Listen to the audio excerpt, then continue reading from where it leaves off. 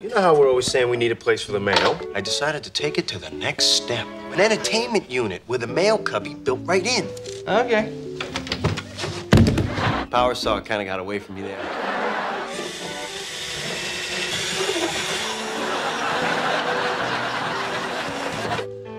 Oh, sorry, did I get you? No, you didn't get me. It's an electric drill. You get me, me. Do you want this unit or not? I do not want this unit. You should have told me that before. Not a mind reader. And we're out of beer. Okay, I'm going to Monica's. Fine.